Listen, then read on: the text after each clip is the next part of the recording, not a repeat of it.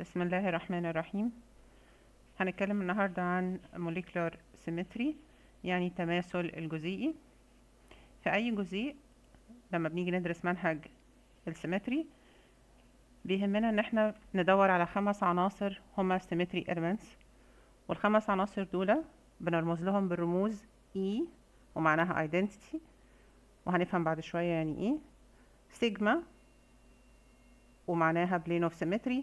I ومعناها inversion center CN ومعناها axis of symmetry و SN معناها rotation reflection axis. إيه معنى symmetry elements دهيت؟ وإزاي بنطبقها داخل الجزيء؟ ده اللي هنعرفه حالا. دايما لما يجي يكلمك عن السيمتري elements هيكلمك عن symmetry operations.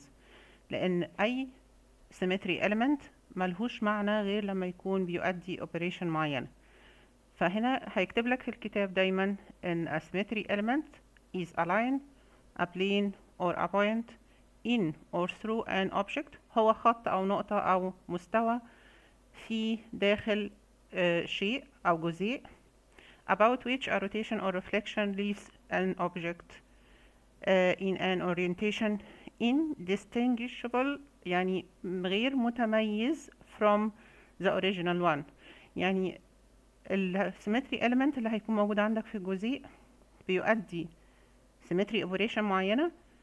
تؤدي للجزيء إن يكون على شكل أو يكون على وضع غير متميز عن الأصلي. مش مطابق له لكن غير متميز عنه. هنفهم بعد شوية إيه الفرق بين المطابقة وعدم التميز. طبعا لما نقول إن بيتم عملية rotation يعني دوران أو reflection يعني انعكاس حوالين ال line أو ال plane أو ال point اللي إحنا بنشوفها داخل الجزيء. يعني إحنا بنتكلم على symmetry operation. ال symmetry operation بتاعتنا يا هتكون rotation دوران يا هتكون reflection انعكاس. حوالين إيه؟ حوالين نقطة أو حوالين مستوى أو حوالين محور. تمام؟ فاحنا كنا قلنا إن ال symmetry elements بتاعتنا هم خمسة اللي هنقدر ندور عليهم في أي molecule آه أول واحد فيهم رمزنا له بالرمز E وقلنا إن ده هو ال identity ومعناها إن معناه the original orientation يعني الشكل الأصلي بتاع الجزيء. تمام؟ يعني إذا عندنا جزيء لا يحتوي إلا على وضعه الأساسي الأصلي فإحنا بنسميه عنده symmetry element واحد هو ال E. هنشوف بعد شوية مثال هيوضح لنا آه إزاي إن الجزيء مفهوش أي عناصر تماثل غير ال E. وبعد كده قلنا إن تاني عنصر من عناصر التماثل هو السيجما وده plane of symmetry يعني مستوى تماثل. وده تقدر تعتبره إنك كأنك بتقطع الجزيء بتاعك بمستوى. أعتبر المستوى ده مراية أعتبره آه ورقة مستطيلة. بتقطع بيها. الجزيء بتاعك إلى جزئين متماثلين. فهنا هتلاقي تعريفه. The reflection operation is coincidence of atoms on one side of the plane with the corresponding atoms on the other side uh, as though reflected in a mirror يعني هتلاقي ان لما بتحط ال plane of symmetry داخل الجزيء بتجد ان دايما ال atoms اللي على one side مطابقة لل atoms on the other side بالنسبة لل i اللي هي inversion point نقطة انقلاب فهتلاقي ان each atom موجودة في الجزيء بتاعك تقدر توصلها بخط مستقيم لحد ال inversion point بتاعتك وتمد الخط المستقيم نفس المسافة في الاتجاه المعاكس هتلاقي atom مكافأة ليها تماما. طبعا لحد دلوقتي هتحس إن الكلام كتير والتعريفات كتيرة بالأمثلة اللي هناخدها هيتضح كل شيء. المهم يكون في ذهنك الآن تخيل لإيه هي ال symmetry elements ال E يعني ال identity بتاعت المركب مفيش أي تغيير حصل عليه سيجما يعني عندك plane of symmetry حطيته داخل الجزيء فالجزء اللي على الجزء من الذرات اللي على أحد الجوانب مكافئ تماما للذرات الأخرى اللي على الجانب الآخر ال i هو نقطة انقلاب فأي atom في المركب هتوصل لها خط مستقيم لحد نقطة الانقلاب وتمد الخط على نفس الاستقامة نفس المسافة لازم تلاقي ذرة مقابلة ليها مكافأة ليها. رابع symmetry element عندنا هو السي ان وده rotational axis يعني محور دوران يعني كأنك بتضع محور وبتدور بزاوية دوران معينة فتلاقي إن الجزيء بتاعك الذرات بتاعته وضع رجعت لوضع لا يمكن تمييزه عن الوضع الأصلي مشابه تماما للوضع الأصلي بتاعها. فطبعا الدوران بيكون بزاوية هي 360 درجة على n حيث n دي هنعرف معناها إيه بعد شوية. وهذا الدوران leaves the molecule unchanged. تمام؟ آخر symmetry element هتدور عليه داخل المركب بتاعك هو ال SN وده بنسميه improper rotational axis أو تعريفه الدقيق هو rotation reflection axis يعني محور بنعمل بيه عمليتين ورا بعض. بنعمل rotation الأول دوران وبعد ما نعمل rotation بنعمل reflection على plane عمودي على المحور بتاعنا. فيرجع لنا الجزيء لصورة مشابهة تماما للصورة الأصلية بتاعته.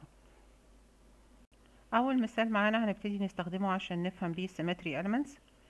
هو المركب اللي قدامنا ده BrClSO هتلاحظ إن المركب ده إحنا راسمينه راسمين ال Cl خارجة لبرة من مستوى الشاشة وال Br السهم بتاعها للداخل وال S O في ال plane بتاع الصفحة بتاعتنا تمام؟ فالمركب ده ما هواش trigonal planar المركب ده الزوايا بين الذرات بتاعته ما هياش 120 درجة. طبعا ده بسبب وجود الالكترونين اللي على ال sulfur. تمام؟ دول بيعملوا repulsion فبيأدوا إن إلى إن الروابط يحصل لها آه تغير في الزوايا ما بينها. تمام؟ طبعا تفسير ده هنرجع نشوفه في الفيديو بتاع فيسبر ثيوري وإزاي بنرسم كمان ال Lewis dot structure اللي يهمنا دلوقتي إن أنت لما تبص المركب ده هل تقدر تحط محور تقدر تحط line آه وتدور حواليه تدور المركب حواليه فيرجع المركب لوضعه الأصلي؟ يعني لو افترضت معاك إنك هتحط line يضم ال sulfur والأكسجين مع بعض كده. لو دورت الجزيء حوالين ال line ده 180 درجة إيه اللي هيحصل؟ اللي هيحصل إن الكلور اللي طالعة بره دي هتلف 180 درجة وتبقى داخل الشاشة والبروم اللي كانت بره تمام؟ هتلف وتطلع عفوا اللي كانت للداخل هتلف وتطلع بره تمام؟ فأصبح عندك المركب شكله مش مطابق للحالة الأصلية بتاعته. لو عملت دوران بأي زاوية حوالين المحور ده مش هتحصل أبدا على المركب في صورة مشابهة للصورة الأصلية اللي أنت بدأت بيها. لازم هيحصل تغيير تمام؟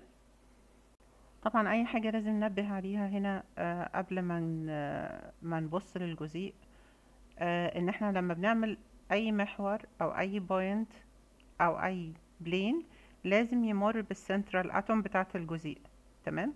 طبعا إحنا ليه راسمين هنا ال sulfur هي ال central atom كل ده هتعرف تفسيره في ال VSEPR theory في ال VSEPR theory valence shell electron pair repulsion theory وفي الرسم بتاع ال Lewis dot structure كمان تاني حاجة إن إحنا أي axis عندنا هو ده اللي بنعمل حواليه دوران rotation بزاوية دوران معينة تمام؟ وأي plane بنعمل حواليه reflection فإحنا جينا افترضنا إن الجزئية اللي قدامنا ده هنحط محور يمر بالذرة المركزية وأي ذرة أخرى في الجزيء.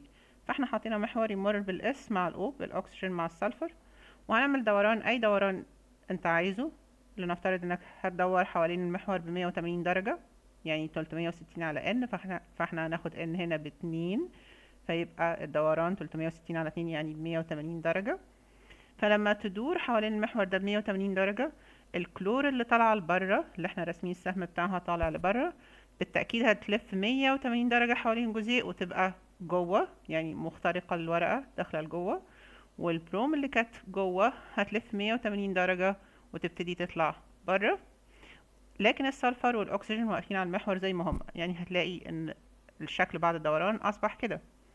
تمام؟ آدي السلفر والأكسجين على نفس المحور. والبروم لفت 180 درجة وجت لبرة. الكلور لفت 180 درجة ودخلت لجوه. هل الشكل النهائي ده مطابق للشكل اللي إحنا بدأنا بيه؟ لا يمكن تمييزه عن الشكل الأصلي؟ طبعا لا. إذا لا يمكن إن إحنا نحط محور هنا ونقول إن الجزيء ما زال شكله هو هو مش شكله هو هو أبدا. تمام؟ فإذا لا يمكن إن إحنا نضع هنا axis of rotation وأيضا لا يمكن إن إحنا نضع point of inversion لو اخترت ال central atom اهيت وحطيت point of inversion حطيت نقطة انقلاب.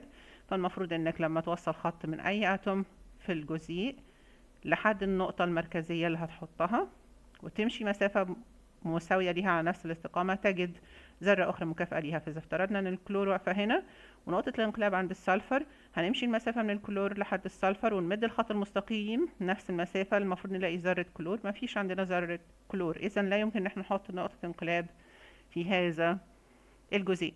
يبقى كده في اتنين symmetry elements. أثبتنا إن هما مش موجودين. وتقدر تفكر إنك تحط المحور ال axis of rotation في أي مكان. حط المحور على الاس مع الكلور مع بعض ودور بأي زاوية دوران انت عاوزها. خد 360 اقسمها على اتنين على تلاتة على أربعة وشوف بعد الدوران هيكون شكل الجزيء إيه وهتجد إن هو غير مطابق للي إحنا بدأنا بيه. طالما غير مطابق للي إحنا بدأنا بيه يبقى إذا لا يمكن وضع axis of rotation في هذا الجزيء. وتاني symmetry elements لقينا إن هو لا يمكن وضعه أيضا هو ال point of inversion اللي هي ال i هنيجي نتكلم بقى على ال plane of symmetry لما تبص للجزء زي ده هل يمكنك وضع أي plane of symmetry أي ورقة مستطيلة أي مراية تمر بالمركز بتاع الجزيء وتجد إن في تماثل بين جزئي ال molecule يعني يعني لو افترضت معاك إن إحنا حطينا plane يضم ال sulfur والأكسجين مع بعض طبعا هيكون في مستوى سطح الورقة هيكون الكلور طالع بره في اتجاهنا وال Br داخل لجوه طبعا لما نيجي نبص على ال two sides بتاع ال plane ده هنلاقي إن الكلور جاية من one side ومفيش كلور مقابلة ليها من ال other side بنفس الزاوية. فإذا مفيش عملية reflection حاصلة في الاتجاه ده. وإذا جربت تاخد plane على أي ذرتين تانيين sulfur مع كلور sulfur sulfur مع بروم هتجد إن في نفس المشكلة. فلما تدرس الجزء المركب ده على بعضه هتلاحظ إن مش موجود عندك ولا آه إمكانية لوضع آه أي rotation axis ولا إمكانية لوضع plane of symmetry ولا point of inversion وطبعا بالنسبة لل Sn فهي rotation reflection axis rotation reflection operation فإحنا محتاجين أصلا يكون عندنا axis of rotation عشان نعمل بعديه ريفليكشن فما فيش أصلا axis of rotation موجود. فاذا جزيء زي ده لا يوجد عنده إلا ال identity اللي هي ال E بتاعته ك symmetry element وحيد.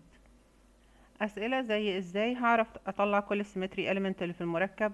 آه لو أنا في symmetry elements ما شفتهاش هيكون إزاي الحل في الامتحان؟